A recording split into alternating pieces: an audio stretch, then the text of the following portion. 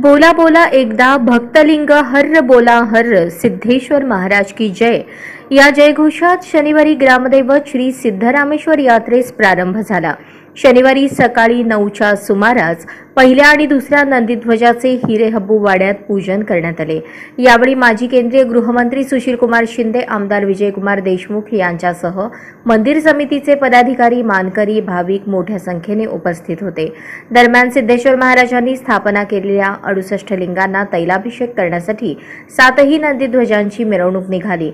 तब्बल नऊशे वर्षांची परंपरा असलेली ही यात्रा भक्तिभावात साजरी होत आहे.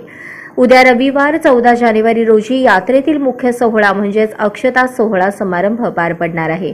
दरम्यान आज शनिवारी सकाळी परंपरेप्रमाणे मानाच्या हिरे हब्बू वाड्यातून श्री सिद्धेश्वरांच्या योगदंडाचे प्रतीक असलेल्या सात नंदी ध्वजांची मिरवणूक निघाली. सोलापूर शहर आणि परिसरात श्री सिद्धरामेश्वरांनी स्थापन केलेल्या अडुसष्ट लिंगांना तैलाभिषेक करण्यास सुरुवात झाली आहे. या मिरवणुकीत पारंपरिक पोशाख असलेली बाराबंदी परिधान करून अबालवृद्ध सहभागी झाले होते.